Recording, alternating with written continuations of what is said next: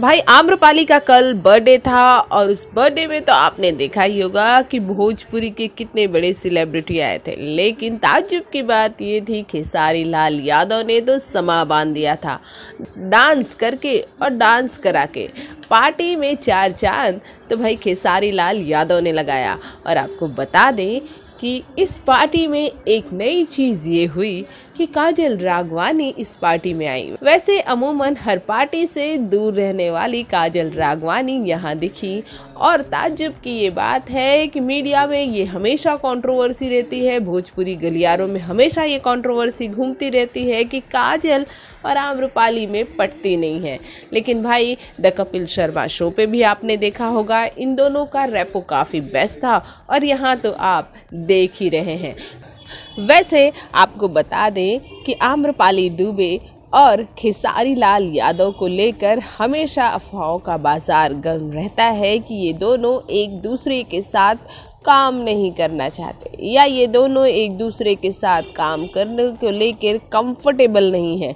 वैसे आपको बता दें कि आम्रपाली दुबे ने तो अपनी तरफ़ से हिंट दे दिया है कि अच्छी स्क्रिप्ट मिली तो वो ज़रूर खेसारी के साथ काम करेंगी।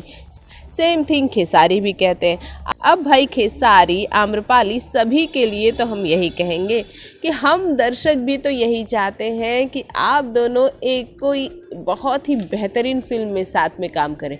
वैसे वो दिन दूर नहीं है। वैसे आप दोनों की केमिस्ट्री ऑफ़ स्क्रीन इतनी गजब की लगती है तो ऑन स्क्रीन कितनी गजब की लगेगी? वैसे मरद अभी बच्चा में भी आप दोनों की ऑन स्क्रीन केमिस्ट्री हमने देख ही ली है। खैर, इन सब बातों को छोड़ते हैं और आगे पार्टी के मुद्दे पर आते हैं। भाई, इतनी शानदार पार्टी भोजपुरी इंडस्ट्री में बड़े दिनों बाद हुई। एक्सपेक्ट तो ये किया था कि पवन सिंह की बर्थडे पार्टी बड़ी शानदार होगी, लेकिन पवन सिंह ने अपना बर्थडे तो मनाया ही नहीं। और अक्षरा अक्षरा इस पार्टी से नदारत रही। सभी का एक ही सवाल था कि ये दोनों दिख क्यों नहीं रहे हैं? तो भाई, ये सुनने को मिला है कि ये दोनों इस वक्त मुंबई में ही नहीं थे, इसलिए ये दोनों नहीं आए। वैसे भी दो में से तो एक अपसेंट ही रहता। जैसे अगर अक्षरा आती तो पवन ना आते, पवन आते तो अक्षरा नहीं आती।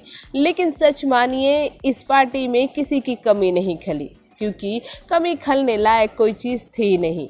यहाँ पर तो सब कुछ मौजूद था। खुशियाँ एंटरटेनमेंट हर एक जगह। ऐसा लग रहा था कि भोजपुरी इंडस्ट्री में काफ़ी अरसे बाद कोई पार्टी हुई है और पार्टी इतनी शानदार ही होनी चाहिए।